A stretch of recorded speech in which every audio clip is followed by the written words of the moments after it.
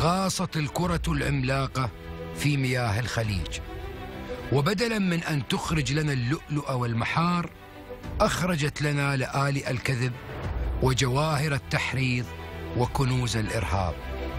الكرة التي يفترض أن تشع مهنية واحترافية وموضوعية وحيادا ورأيا ورأيا آخر أفرزت على مر السنين تشددا وتناقضا وازدواجية وطائفية وزيفا وتشويها للواقع والحقائق.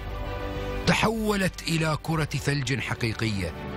كرة تنتج كذبة ثم تحولها إلى حقيقة بكذبة أخرى. ثم تنتج كذبة أخرى وتحولها إلى حقيقة وكذبة بعد كذبة كبرت كرة الثلج حتى صارت جبلا من الأكاذيب بل صارت أكبر من الدولة التي أنتجتها متفاخرة بأن يقال عن قطر دولة الجزيرة.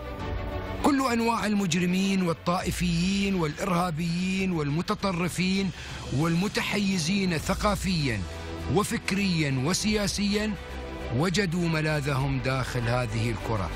في الجزيرة تعلم المشاهد العربي الردح على أصوله. وفي الجزيرة اكتشف المواطن العربي النفاق على أصوله.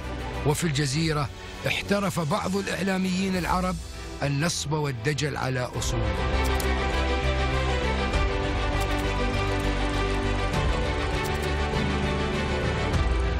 بات الصراخ سمة للنقاش والتزييف والتحوير والتضليل أساسا من أسس الخبر والتحرير وبث الفتن رسالة من رسائل الإعلام.